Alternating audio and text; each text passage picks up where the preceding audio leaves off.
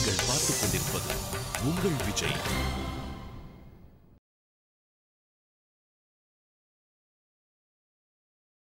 நீதி சதகம் மகாபாரதம் விட்டு புராணம்லாம் தெரிஞ்சு வச்சிருந்தார் அதெல்லாத்தையும் யாரோ திருடிண்டு போயிட்டாலாம் அதனால் நாளிலேருந்து அவருக்கு கீதை தெரியாதாம். இப்படின்னு எங்கேயானு சொல்லுவாளா. அப்போ அதை திருடிண்டே போக முடியாது இல்லையோ? திருட்டு கொடுக்க முடியாத சொத்து அறிவு. ரெண்டாவது ஷம் புஷ்ணாதி யத் சர்வதா. எப்போதும் சந்தோஷத்தை கொடுத்துட்டே இருக்கும். இப்போ நன்னா ஒருத்தர் ஆழ்வார் பாஷனெல்லாம் தெரிஞ்சுட்டு இருக்கார் திருப்பலாண்டு தெரியும் திருப்பாவை தெரியும் அதில் உள்ளூர இருக்கிற கருத்துக்கள் எல்லாம் தெரியும் தெரிஞ்சிருக்கு. அவருக்கு இப்போ வேற ஒன்றும் நடக்கலை. லோகத்தில் அவருக்கு பெரிய பெருமகள்லாம் ஒன்றும் கிடைக்கல. எங்கே போனாலும் ஓஹோன்னு அவரெல்லாம் கொண்டாடலை. இருந்தாலும் அவர் பாட்டுக்கு தம் வீட்டில் இருந்து புஸ்தகத்தை வச்சுட்டு எவ்வளவு நேரம் பார்த்து ஆனந்தப்பட்டுட்டே இருந்துடுவார். அந்த நாளில் இருக்கிற ரிஷிகள் எல்லாம் கோவிலுக்கு போனார்கள்னு கேள்விப்பட்டிருக்கமோ? நைமிஷாரண்ய காட்டில் இருந்தா ஹிமாச்சல மலையில் வாழ்ந்திருந்தா கோவர்தனத்துக்குள்ளே இருந்தா அங்கே ஏது கோவில்? கோவிலே இருக்காது. அவர்கள் பாட்டுக்கு காட்டில் இருந்தா காட்டில் இருந்தா அப்போ காட்டிலே இருந்து கோவிலுக்கே போலையே மனம் கொஞ்சம் பேதலிச்சிடாதோ நாம் கூட நித்தியம் பூஜையே பண்ணாமல் கோவிலுக்கும் போகாமல் எந்த புத்தகத்தையும் படிக்காமல் ஒரு உபன்யாசத்துக்கும் போகாமல் ஒரு ஒரு வருஷம் இருந்து பாருங்கள் விஷப்பரீட்சை வேண்டாம். இருந்தாலும் சொல்கிறேன் அதை போல் ஒரு வருஷம் இருந்து பார்த்தேன்னா நாமே நாசிகனா போட்டோமோன்னு தோண்டி போடும். இது எல்லாத்துலேயும் சுற்றி இருந்துட்டு இருக்கிற வரைக்கும் தான் வசத்துக்குள்ளே கட்டுப்பாட்டுக்குள்ளே இருப்போம். இது விட்டு போச்சுன்னால் தறிகட்டு ஓடுறதுக்கு ஆரம்பிச்சிருமோ இல்லையோ? ஆனால் அந்த நாளில் வசிட்டரோ விஸ்வாமித்தரரோ வாமதேவரோ இங்கே எங்கேயுமே போயிருந்ததா தெரியலையே இப்போ. அவள் எப்போ பார்த்தாலும் தியானத்தில் இருந்திருக்கா. ஓலைச்சுவடியை வச்சுன்னு படிச்சிருக்கா எழுதியிருக்கா. இதுக்கு மேல் அவர்கள் பூஜைக்கு செலவழிச்சதா தெரியலையென்னால் அவன் தன் ஞானத்தை கொண்டு கிரந்தங்களை பார்த்து பார்த்தே நூல்களை படித்து படிச்சே அதன் மூலமே பிரம்மத்தை அனுபவித்து விடுகிறான் மானாதீனா மேய சித்திகின்னு சொல்லுவார்கள். பிரமாணங்கிற வேதங்களும் இதிகாச புராணங்களும் இவற்றின் பால் பட்டவர் தான் பிரம்மமே. பகவான்கிறவரை தனியாக நம்ம தெரிஞ்சுவிட முடியாது. வேத வேதாந்த இதிகாச புராண ஸ்மிருதி இதன் மூலம்தான் பகவானை தெரிஞ்சுக்க முடியும். அப்போ அந்த புஸ்தகத்திலேயே பெரியோர்கள் நேரம் செலவழிப்பார். நீங்கள் பெரிய வித்வான்களோட வாழ்ந்து பார்த்துருந்தீங்கன்னா தெரியும். ஒரு நாளைக்கு ஆறு ஏழு மணி நேரம் படிப்பா படிப்பா படிச்சுட்டே இருப்பா. நம்மக்கிட்ட நின்று பேசிகிட்டே இருப்பா. நாம் ஏதோ குடும்ப கதையை ரொம்ப நீட்டி முழக்கி அவள்கிட்ட சொல்லிட்டு இருப்போம். அண்ணா அதில் ஈடே படாமல் ஆனால் தலையை தலையை ஆட்டிப்பா. நன்னா தெரிஞ்ச மாதிரி நம்மோட வம்பு பேசுகிற மாதிரியே. இல்லைன்னா இவர் திரும்பியே பார்க்கல பேசவே இல்லைன்னு குற்றம் வந்துடாதா அதுக்காக சரி நம்மளோட நின்று கொஞ்சம் நேரம் பேசுவா. நாம் மேலே மேலே கதை சொல்லிகிட்டே இருப்போம். திடீர்னு ஆள் அங்கே இருக்க மாட்டார். எங்கே போயிருக்காருன்னா அவர் உள்ளில் போய் அவர் புஸ்தகத்தை வச்சுன்னு படிக்கிறதுக்கு ஆரம்பிச்சிருவார். அப்போ நான் இங்கே பேசிகிட்டே இருக்கேன் என்னால்? இதன் மூலம் பிரம்மத்தை பார்க்க போகிறது இல்லை. அதன் மூலம் பகவானை பார்க்க முடியும். அதனால் அதுதான் அந்த பக்கம் போயிடுறாளோ இல்லையோ? அப்போ அவர்களுக்கு மற்றதின் பால் மனம் செல்வதில்லை. அவனுக்கு திரும்ப திரும்ப அந்த புத்தகம்தான் உயிர். அதை தான் இங்கே சொல்கிறார் சம் புஷ்ணாதியத் சர்வதா. எப்போதும் அந்த நூல்கள் ஞானம் அவனுக்கு ஆனந்தத்தை கொடுக்கிறது. ஞானந்தான் ஆனந்தத்துக்கு போகும். அனுகூல ஞானத்தை ஆனந்தம்னு சொல்கிறார்கள் ஒரு நிமிஷம் சிந்திச்சு பாருங்கள் ஆனந்தம்ங்கிறது என்ன? மகிழ்ச்சிங்கிறது என்ன? அது ஏதான தலையில் வச்சுருக்கிற தொப்பியா? இல்லை நாம் போட்டுருக்கிற ஏதானு வேட்டியா? என்னது அது மகிழ்ச்சிங்கிறது? மகிழ்ச்சிங்கிறது அனுபவம் தானே. அது என்ன அனுபவம்னால் நமக்கு அனுகூலமான ஞானம் ஏற்பட்டால் அதுதான் மகிழ்ச்சி. அனுகூல ஞானம். எங்கோ ஏதோ ஒரு இடத்துல ஆபத்து விபத்து ஏற்படுறது. நமக்கு வேண்டியவர் அந்த இடத்துக்கு போயிருக்கார். என்னாச்சோ என்னாச்சோன்னு தவிச்சுட்டே இருக்கும். அப்போ அந்த தவிப்பு பயம். அந்த பயம் போகணும்னா அங்கிருந்து அவர் தொலைபேசியில் கூப்பிட்டு கவலைப்பட வேண்டாம் நான் சௌக்கியமாக இருக்கேன். அப்போ நமக்கு அனுகூலமான ஞானம் கிடைச்சதோ இல்லையோ இப்போ? எனக்கு பிடிச்சது அவர் நன்னா இருக்கணுங்கிறது. அது இருக்காருங்கிற ஞானம் எனக்கு கிடைச்சது. அனுகூல அறிவு கிடைத்ததுன்னா அதுதான் ஆனந்தம். இப்போ உடனே நம்ம மகிழ்ச்சி அடைகிறோம் பாருங்க. அதனால் ஆனந்தம்னாலே ஞானம் இல்லாமல் ஆனந்தம் வரவே வராது. ஞானந்தான் ஆனந்தத்துக்கு அடிப்படை. நிலை ஞானி ஆனந்தப்படுகிறார். இதே பிரதிகூல ஞானமாக இருந்தால் நமக்கு பிடிக்காததை பற்றின அறிவு வந்ததுன்னா அது துக்கம். இது சுகம் அது துக்கம். அனுகூல ஞானமாக இருந்தால் சுகத்தில் கொண்டு போய் விடும். பிரதிகூல ஞானமாக இருந்ததுன்னா துக்கத்தில் கொண்டு போய் விட்டுடும். இது அன்றாட வாழ்க்கையிலே நம்ம பார்த்துருக்கோமே. அதைத்தான் சொல்கிறார் இவன் அனுகூல ஞானியாக இருக்கிறதுனாலே சுகத்தை அனுபவிக்கிறான். ஆர்த்திபியா பிரதிபாத்தியமான மனுஷம் பிராப்னோதி புத்திம் பராம். எந்த இடத்துல போனாலும் அவருக்கு மதிப்பு கிடைக்கிறது. தங்கிட்ட இருக்கிற சொத்தே தனமாட்டம் இருக்குகிறது. இன்னொன்று பிராப்னோதி வித்தியும் பராம். இப்போ ஒருத்தர்கிட்ட இருக்கிற ஞானத்தை இன்னொருத்தர் இடத்துல பகிர்ந்துக்கிறாருன்னு வச்சுப்போம். அந்த பகிர்தலால் ஞானம் ரெண்டு மடங்கா இருக்கும் இப்போ அது அந்த குழந்தை உட்காண்டிருக்கார் இந்த குழந்தை உட்காண்டிருக்கார் இவருக்கு நரசிம்ம சரித்திரம் தெரியும். இவருக்கு வாமன சரித்திரம் தெரியும். அடியனுக்கு ராமச்சரித்திரம் தெரியும். இப்போ நான் இவர்கிட்ட ராமச்சரித்திரம் சொன்னேன். வாமன சரித்திரம் சொன்னார். திருவிக்கிரம சரித்திரம் சொன்னார். இப்போ மூணு பேர்கிட்டையும் மூணு கதையும் இருக்குமோ இல்லையோ? அதே இப்போ எங்கிட்ட மூணு இப்போ பழம் இருக்குது மாம்பழம் இருக்குன்னு வச்சுங்க உங்களுக்கு ஒன்று கொடுத்தேன் உங்களுக்கு ஒன்று கொடுத்தேன்னா எங்கிட்ட என்ன இருக்கும்? ஒன்று தான் பாக்கி இருக்கும். அதனால் எப்போவும் பொருளை பிரித்தால் குறைஞ்சி போயிடும். எண்ணிக்கை குறைஞ்சி போயிடும். ஞானத்தை பிரித்து எல்லார்ட்டையும் கொடுத்தா பெருகி போயிடும். இப்போ மூணு மடங்கு ஞானம் ஆயிடுத்தேன் அவருக்கும் திருவிக்கிரம கதை தெரியும் நரசிம்ம கதை தெரியும் ராமர் கதை தெரியும். எனக்கும் திருவிக்கிரமன் கதை தெரியும் நரசிம்மன் கதை தெரியும் ராமன் கதை தெரியும். இது ரொம்ப நல்லா இருக்கே சுவாமி. சாதாரணமாக கழித்தாலோ வகுத்தாலோ குறையும்னு தான் கேள்விப்பட்டிருக்கோம். ஆனால் இதை பகிர்ந்து கொடுத்தோமானால் வளர்ந்து போடுறதோ இல்லையோ. இது இப்படி இருக்கிறத பார்த்து பொறாமப்படவே முடியாது. ஒரு பொருள் ஒத்தர்கிட்டேருந்து இன்னொருத்தர்கிட்ட போயிட்டா இவர்கிட்ட குறையும் அவர்கிட்ட கூடும் அப்படிங்கிற நிலை இருந்தால் தான் பொறாமையே பட முடியும். இப்போ உலகம் முழுக்க எல்லாருக்கும் எல்லாம் இருந்து யார் எதை கொடுத்தாலும் அது ரெண்டு மடங்கு ஆகும்னு கொஞ்சம் நிலை வருதுன்னு வச்சுங்க. பொறாமையே வராது கோபமே வராது எல்லாரும் செழிப்பாக வாழத்துக்கு ஆரம்பிச்சிருவோம். இப்போ எங்கேயும் என்ன பொறாமை? அவங்கிட்ட வீடு இருக்கே எங்கிட்ட இல்லையே. அவங்ககிட்ட வண்டி இருக்கே எங்கிட்ட இல்லையே. அவர்கிட்டையும் வண்டி இருக்கும் எங்கிட்டையும் வண்டி இருக்குன்னா யாரை பார்த்து நான் பொறாமப்படுறது? நீங்கள் சொல்லலாம். இல்லை இல்லை அவர்கிட்ட ரெண்டு சக்கர வண்டி இவன்கிட்ட நாலு சக்கர வண்டி. அதனால பொறாமை. சரி எல்லார்ட்டையும் நாலே இருக்குன்னு வச்சுக்கோ. இல்லை இல்லை நாலு சக்கரத்துலேயும் இவர்கிட்ட அஞ்சு லட்ச ரூபாய் வண்டி அவர்கிட்ட பத்து லட்ச ரூபா வண்டி. சரி எல்லார்ட்டையும் பத்து லட்சம்னே வச்சுக்கோ. இதுவே வேண்டாம். நினைத்த மாத்திரத்தில் நினைத்த இடத்துக்கு வண்டியே இல்லாமல் ஒருத்தரால் போயிட முடியறது. அவராலையும் போக முடியும் இவராலையும் போக முடியும். இப்போ என்ன பொறாமப்பட முடியும் சொல்லுங்க வண்டியே வேண்டாம். நினைத்த மாத்திரத்தில் நான் போக வேண்டிய இடத்துக்கு பறந்தே போயிடுவேன். இந்த நிலை வந்துடுத்துனா பொறாமையே பட முடியாது. அப்போ குறை இருக்கவே இது எங்கிட்ட இல்லை இது அவர்கிட்ட இருக்கு. இதனால தான் வருது. ஞானத்தில் அது வரவே முடியாது. ஏன்னா எங்கிட்ட இருக்குன்னு அவர்கிட்ட கொடுத்துடலாமே. அவர்கிட்ட இருக்குதுன்னா நான் வாங்கிக்கலாமே. நான் இவர் கொடுக்காட்டா கூட இன்னொருத்தர் கொடுக்க போகிறாரு எத்தனையோ ஞானிகளிடத்தில் நம்ம பெற்றுக்கொள்ளலாம். அது குறையாது வளருகிறது. இதெல்லாம் ஞானத்துக்கு உண்டான பெருமை. கல்பாந்தேஷ்வபி ந பிரயாதி நிதனம். கல்பமே முடிஞ்சு போய் பிரளயமே வந்தால் கூட ஞானம் தொலையுமான்னு. அது அப்படியே தான் இருக்க போகுது வேதமும் அழியாது கற்ற ஞானமும் அழியாது வாசனை வரும்.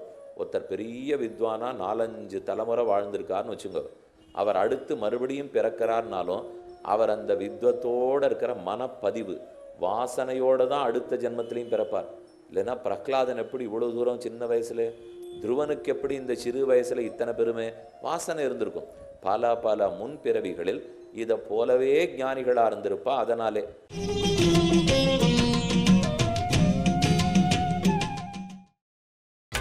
நீங்கள் பார்த்துக் கொண்டிருப்பது உங்கள் விஜய்.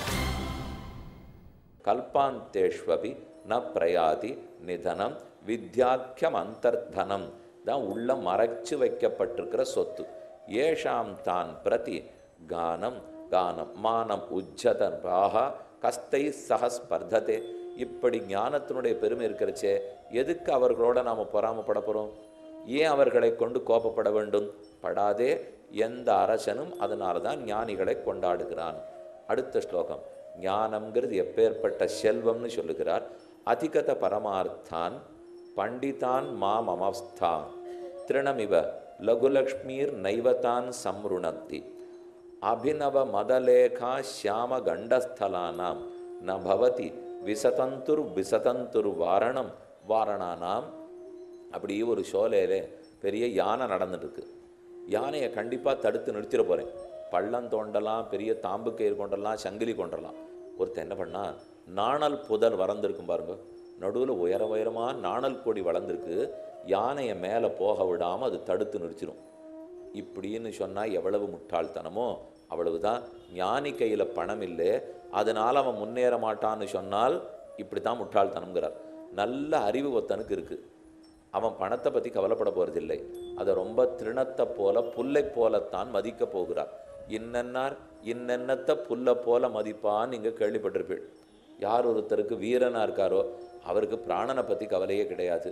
அவர் அதை புல்லாத்தான் மதிக்க போகிறார் இப்போ. அதை போல் ஆரோத்தன் விவேகியாக இருக்கானோ ஞானியாக இருக்கானோ அவர் பணத்தை பற்றி நினைக்க போகிறதில்லை இந்த ஸ்லோகம் எல்லாரும் கேள்விப்பட்டிருப்பீளே யோனித்யம் அச்சுத பதாம்புஜ யுக்ம ருக்ம வியாமோகதஸ்ததிதராணி திருணாயமேனே அஸ்மத்குரோர் பகவதோஸ்ததேக சிந்தோ ராமானுஜஸ்ச சரணௌ சரணம் பிரபத்தியே எந்த ராமானுஜர் ஒருத்தர்? அச்சுத பதாம்புஜ யுக்ம ருக்ம பெருமானுடைய ரெண்டு திருவடிகளே பொற்றாமரை அடிகள். அது பொன் போன்ற அடிகள். அந்த பொன்னு கிடைத்து விட்டபடியால் மற்ற பொன்னில் எனக்கு விருப்பமில்லை. என்று பொன்னையே தொடாமல் இருந்தாரோ அந்த தங்கம் போன்ற ராமானுஜரை பற்றுகிறேன். என்ன இந்த ஸ்லோகம்? யோனித்யம் பதாம்புஜான்னு சொல்றது. அதனால் நாம் பொண்ணு கிடைச்சது முக்கியமில்லை. யார் ஞானத்தை தேடி போகிறானோ அவன் பணத்தை மதிக்க மாட்டான். அதான் ஸ்லோகார்த்தம் இப்போ. அதிகத பரமார்த்தான் ரொம்ப உயர்ந்த செல்வமாகிற ஞானமே கிடைச்ச விற்பாடு தாழ்ந்த செல்வத்தை பற்றி யார் கவலைப்படுவா? பண்டிதான் மாம் அவம்ஸ்தாக அப்படிப்பட்ட பண்டிதர்களை அவமரியாதையே பண்ணாதே. திருணமிவ லகுலக்ஷ்மி லக்ஷ்மியே திருணத்தை போல் புல்லை போல் மதிக்கிறான். அப்படி செஞ்சு விடலாமானால் அது மதிப்பு கொடுத்து அதுதான் எல்லாம் நினைக்கிறது இல்லை அதுக்கு லக்ஷ்மி தேவியை மதிக்க வேண்டாம்னு அவர் சொல்லலை. அது நிச்சயமாக செய்ய வேண்டியதான் பணம் முக்கியமாக ஞானம் முக்கியமானால் தனத்தை காட்டிலும் ஞானந்தான் முக்கியம். கூறத்தாழ்வான்கிற ஆச்சாரியர். அவர் ராமானுஜர் எழுந்துருளி இருக்கிறார் அவரிடத்துல போய் நம்ம ஆசிரியிச்சுடணும்னு ஆசைப்பட்டார். கிளம்புறார். பெரும் பணக்காரராக இருந்திருக்கார். காஞ்சிபுரத்துலேருந்து ஒரு பத்து மைல் தூரத்தில் கூரம்ங்கிற கிராமம். அவர் வீட்டில் கதவில் தங்க மணி பொதிச்சிருக்குமா. ராத்திரி பத்து பத்தரை மணிக்கு தான் எல்லா ஆராதனா சமாராதனா அன்னதானம் எல்லாத்தையும் முடிச்சுட்டு கதவை சாத்து வரான் பத்து பத்தரை மணிக்கு கதவை சாத்துருச்சே. அந்த சத்தம் காஞ்சிபுரத்தில் இருந்த பெருந்தேவி தாயார் காதலவே பட்டுதான். பத்து மைல் கரண்டே. அப்படின்னா அது எவ்வளவு பெரிய கதவாக இருந்திருக்கும்? எவ்வளவு தங்கம் பொறுத்து இருந்திருப்பா அப்போ தாயார் த தேவராஜ பெருமானிடத்தில் கேட்டாள். யாரோ பெரிய மணி பொருத்திய கதவெல்லாம் சாத்திரா போல் இருக்கே அதுவும் பத்து மணிக்கு சாத்தின்னு இருக்கா யாரா இருக்கும்னு கேட்குறார் அதுக்கு தேவப்பெருமாள் பதில் சொல்கிறார் அவர் ரொம்ப பெரிய பணக்காரர். தேவி நம்மாலெல்லாம் அவரோட போட்டி போடவே முடியாது. அப்படின்னு லக்ஷ்மி கிட்ட சொல்லிட்டு இருக்கார் பெருமாள். தேவரீர் நானெல்லாம் அவரால் போட்டி போட முடியாது. அவர் ரொம்ப பெரிய பணக்காரர். இப்பதான் அன்னதானத்தை முடிச்சுட்டு ததியாராதனை முடிச்சுட்டு கதவை சாத்துறார். நம்ம கோவில் கதவு ஏழே முக்காலுக்கே சாத்திடுறா. அவர் கோவில் கதவு பத்து மணிக்கு சாத்துறாப்பார் அப்படின்னு ரெண்டு பேரும் ஒருத்தருக்கு ஒருத்தர் பேசின்னு இருந்தார். அவர்களுக்கு அந்தரங்கர் திருக்கச்சி நம்பிகள்னு பெயர். மிருகசீர்ஷ மாசி மாசம் மிருகசீர்ஷ நட்சத்திரத்தில் அவதரித்தார். அவர் நித்தியம் காஞ்சி தேவப்பெருமாளுக்கு விசிறுகிற கைங்கரியம் செய்வார். என்ன தேவப்பெருமாள் ஹோமகுண்டத்தில் தோன்றியவர். நெருப்புக்கு நடுவே தோன்றியவர். ஆகவே கொதிப்பில் இருக்கார். அவருக்கு விசிறி குளிர்ச்சி ஏற்படுத்துவோம்னு அந்த கைங்கரியம் இருக்கார் பூந்தமல்லி பூவிருந்தவல்லியிலே திருவவதாரம் பண்ணவர். அங்கிருந்து காஞ்சிபுரத்துக்கு போய் போய் நித்திய கைங்கரியம் பண்ணுவரான் அந்த சுவாமி விசிறின்னு இருக்கிறச்சே இந்த பேச்சை காதில் கொட்டார். பெருந்தேவி தாயார் கேட்ட கேள்வி தேவப்பெருமாள் சொன்ன பதில் ரெண்டையும் கேட்டு மறுநாள் கூறத்தாழ்வான் இடத்துல போய் சொல்லிட்டார். இதை போல தேவி கேள்வி கேட்டால் பெருமாள் பதில் சொன்னார் நீ ரொம்ப பெரிய பணக்காரன்னு அவளே பேசிண்டா நாம் இருந்தால் உடனே ரொம்ப தெம்பாக இருப்போம். நம்ம பணங்கிறத பெருமாளே பேசுகிறார் நிஜமாவே நான் பணக்காரன் தான். அப்படின்னு புலகாங்கித அடைஞ்சிருவோம் இல்லையோ? அவர் அடுத்த நிமிஷம் யோசித்தார் எப்போ என் குணத்தை பற்றியும் பக்தியை பற்றியும் பேசாமல் பணத்தை பற்றி பெருமான் பேசினாரோ என்னை கைவிடுவதா முடிவு பண்ணிவிட்டார்னு அர்த்தம். இனிமே இந்த பணத்தோட நான் வாழவே மாட்டேன். என் மொத்த சொத்தையும் துறந்தார்.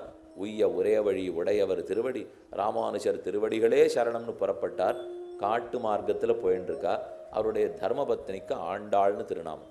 ரெண்டு பேரும் போயின்ட்டுருக்கா போகிறச்சே அவள் பயந்தா. காடாக இருக்குது ராத்திரி தங்கிவிட்டு பகல் பொழுதில் போகலாம் அந்த சுவாமி சொன்னார் மடியில் கனம் இருந்தால் தான் வழியில் பயப்படுவே. என்ன இதான் எடுத்துன்னு வந்தியா? எல்லாத்தையும் விட்டுட்டமேன்னார். நீர் எல்லாத்தையும் விட்டுட்டீர். ஆனால் நீர் தினப்படி சாப்பிடுகிற ஒரே ஒரு சின்ன தங்க கெண்ணி. அதை மட்டும் எடுத்துன்னு வந்தேன். அவளுக்கு அவளுடைய பர்த்தாவுக்கு ஒன்றாம் பண்ணணும்னு ஆசை. அதனால் அவள் எடுத்துன்னு வந்திருக்கா. சுவாமி அவள் மடியிலேருந்து அதை வாங்கி எல்லாத்தையும் விட்டுட்டு உடையவர் திருவடி தங்கம்னு போயிட்டு இருக்கோம் குறுக்க இங்கே தங்கம் தானே அவன் கண்டப்பட்டது. என்னை அங்கேயே வீசி எறிந்து விட்டு ராமானுஜர் திருவடிகளை. அடைந்தார்னு சரித்திரம். அதனாலே படிப்ப பிரம்மத்தை தேடி போபவன். இதை ஒரு பொருட்டாக மதிக்க மாட்டான். ஸ்ரீ வேதாந்த தேசிகன் எழுந்தருளி இருந்த காலம். அவர் வைராக்கியத்தோடு இருக்காரா? பணத்தை மதிக்கிறாரா? பார்க்கணும்னு ஆசை. ஏன்னா அவர் ஸ்ரீஸ்துதின்னு பாடினார். ஒரு பிள்ளை பிரம்மச்சாரி பிள்ளை கல்யாணம் ஆகணும் காசு இல்லைன்னா. உடனே த வரதராஜ பெருமாள் பெருந்தேவி தாயாரை குறித்து ஸ்ரீஸ்துதி பாடினார். காசு தங்க காசாக கொட்டித்து. அனைத்தையும் நீயே எடுத்துன்னு போன அவங்ககிட்ட கொடுத்துட்டார். இவர் சல்லி காசு தொடலை. இவர் ஸ்ரீஸ்துதி பாடி பணமெல்லாம் வரவழைக்கிறார். ஒருவேளை அவருக்கு பணத்தில் விருப்பம் இருக்குமோன்னு தெரிஞ்சுட்டு பிக்ஷை எடுக்க போகிறார் இல்லையோ உஞ்ச விருத்திக்காக போகிறச்சே நெல்லுமணியோட சின்ன சின்ன குந்துமணி ஆட்டம் தங்கமணிகளையும் சேர்த்து போட்டார். வந்தது வீட்டில் அரிசி புடைக்கிறா. படைக்கச்சே தர்மபத்னி பார்த்துட்டு நடு நடு தங்கமணிகள்லாம் இருக்குது போல் இருக்கே. அது கல்லாக இருக்கும் தூக்கி போட்டு விடுங்கட்டார் அவர். கல் இருக்குது உமி இருக்குன்னா தூக்கி போட்டுற மாட்டோமா? அவ்வளவுதான். ஏன்னா அதை சாப்பிட முடியுமாண்ணா எப்படியும் சோறாக்கும் போது தங்கமணிகளை போட்டு சோறாக்கி உண்ண முடியாது. பொற்காசு நன்னா இருக்கேங்கிறதுக்காக நம்ம முந்திரி பருப்பு போட வேண்டிய இடத்துல திருக்கணுவதுக்கு அதை போட்டு பண்ணுன்னா? நன்னா இருக்குமா? பண்ண முடியுமா? கடைசியில் வயத்தில் எதுவும் நிற்காது நாமே போட வேண்டிதான். அதனால் பணங்கிறத வைத்துக்கொண்டு பொருளை வாங்கலாமே தவிர பணமே முடிவாகி விடாது. அதைத்தான் ஞானி நன்கு புரிந்து கொள்ளுகிறான். அபினவ மதலேகா சியாமகண்டஸ்தலானாம் ந பவதி விசதந்துர் வாரணம் வாரணானாம். எப்படி யானையை நாணல் கொடிகள் தடுத்து நிறுத்தாதோ அதே போல ஞானத்தை தேடி போபவனை பணம் நிறுத்தாது. ஆகவே அவனை அவமரியாதை பண்ணாதே.